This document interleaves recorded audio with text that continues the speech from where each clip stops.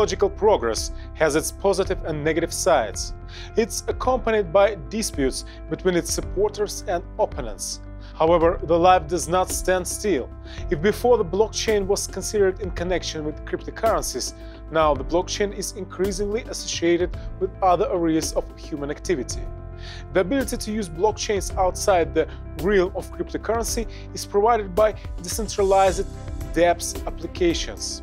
Our subjective perception of the situation is confirmed by objective research by organizations such as the Fluence Network. The study highlights 2018, when the vast majority of existing dApps began to work. Thanks to these decentralized applications, blockchain capabilities can be used in freelancing, personal identification and verification of diplomas, in advertisements and in a messenger, in games and cross-border payments, etc.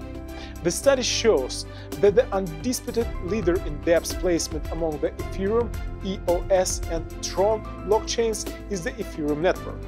EOS and Tron account for 19% and 8% respectively of dApps hosted on these platforms. Information regarding sources of funding for the development of decentralized applications will be of interest to specialists.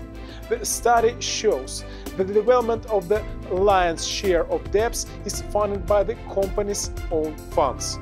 Financing through ICO and venture capital funds is also popular.